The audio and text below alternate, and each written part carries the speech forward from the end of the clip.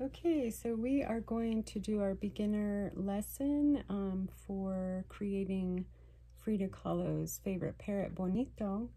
And our supplies today are construction paper and oil pastels. And you can use any color construction paper that you have. It doesn't have to be blue. So we're going to start. I'm going to use my black oil pastel, but you could use a different color if you'd like. I'm going to start with the right side of my paper and I'm going to place my hand here and I'm going to just draw a dot. And once I have my dot, I'm going to draw a circle around that to create the eye. Then I'm going to place my thumb and put a dot sort of out and down from the eye. So place your thumb there and just place a dot right, right by your thumb. And that will be the point of our beak. You're going to then draw a curved line right under the eye and another curved line coming to that point and just past and another curved line there to create the beak with one more line in the middle. So from there, we're going to draw the head and you're going to start with the this point of the beak and you're going to come up over the eye and down to about here. Then on this side, you're going to create another curved line that's kind of like the letter S. And you're going to come in and down to create the chest of the bird and stop where you think the feet might be.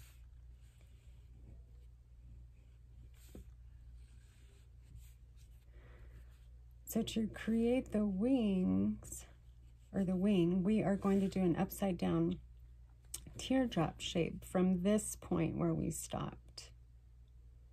And you're going to do a curved line out and down to a point, and then another curved line that comes down to a point.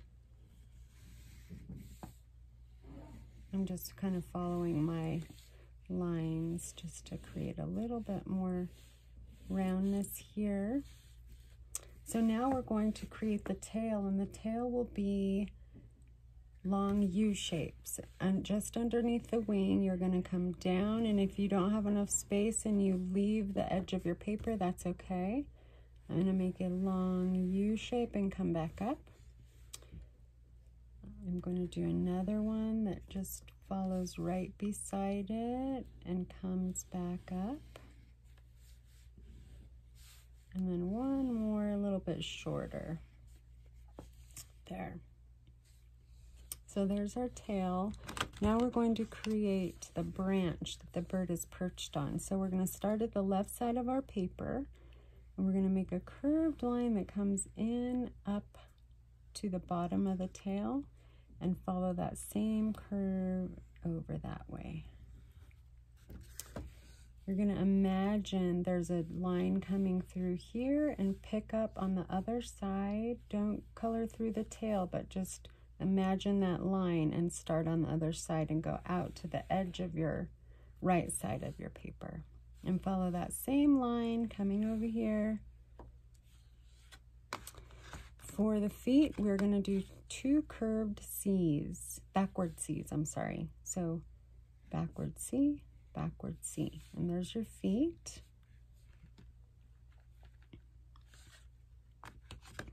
Now we can start adding some color to our bird. So I'm going to start with, let's see, I'll do some gray.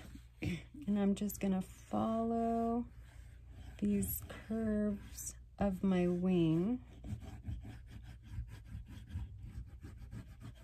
And you notice how when I go over the black, it just not just blends on its own. So you could blend in that way and you can also use your finger. These pastels are great because they're like using paints, but you just have a little more control. I'm to follow that curve in the tail feathers all around here.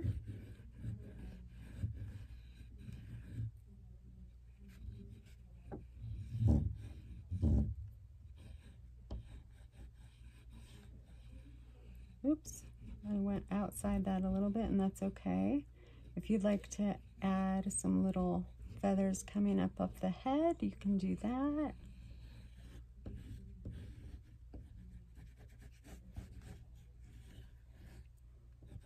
Okay, so now I'm going to add some color. Now, right now I just have some gray and black. I'm going to add some, some dark blue.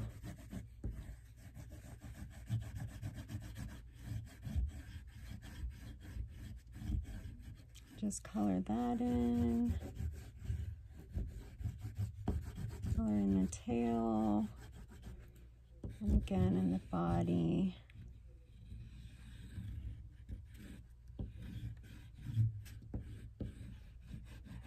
And see, I'm layering over the gray and it's creating this sort of light, light blue color.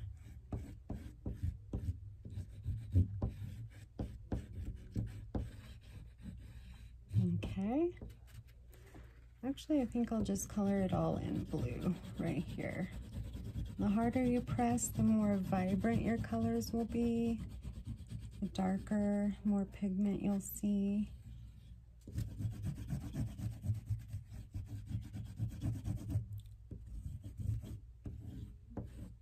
Okay. I think I'll, I'll add some yellow in here and just using lines to create texture and blending in these colors.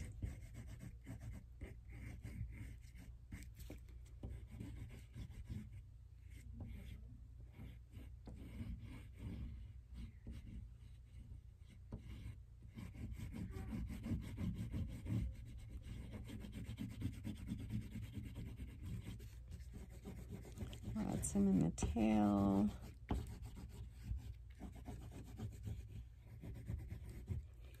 Um, and maybe I'll add a little bit of red in here. Again, using lines. Thinking about feathers and how to create that texture with your pastels. Just layering, using different colors. I'm going to add a little bit of white in the eye and also in the body. Get some more, some lighter colors.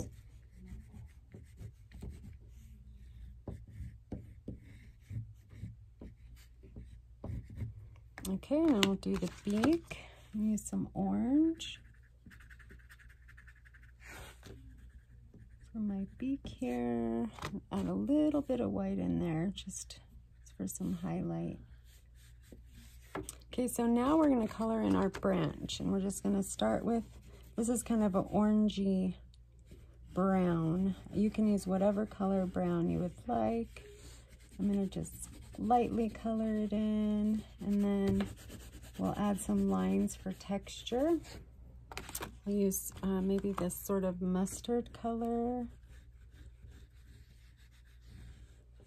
Again, remember Frida used very uh, bright colors. She loved using um, very vibrant colors, um, lots of texture and things in her paintings.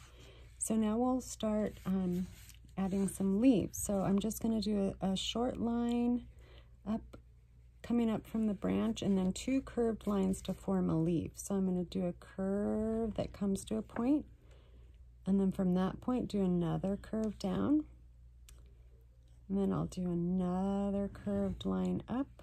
Ooh, that's a long leaf. And then another curved line to come to the point. I'm going to do one over here, and again a line, and then a curve to a point, and another curve to a point. I'm just going to color those in with my bright green and you can use whatever green you would like or whatever colors.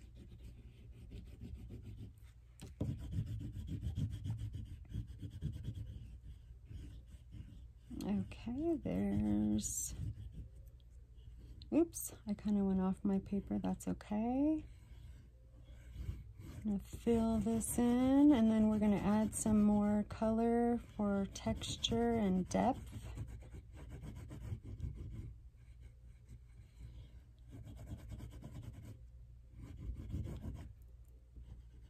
Okay. You can still see some of my blue, which is okay, or you can fill it all in, whatever you would like to do. So now I'm going to take my green and I'm going to sort of outline these leaves in this green, just like that. And again, make some lines to create some texture within the leaf. I'll do that to the other side. Follow those curved lines. You can add flowers if you would like, or your leaves can be different shapes. I'm going to add a little bit of white here to show more texture. But this is where you can be really creative and add what you would like to to your drawing. Okay, and there we have our parrot. Don't forget to sign your work in the bottom corner and put your initials, M-E. And there we have our, our Frida Kahlo inspired parrot. So I hope you enjoyed the lesson. And if you have the time, um, look at the slideshow if you haven't already to learn more about our wonderful artist and her life and see some of her work. Thank you for watching.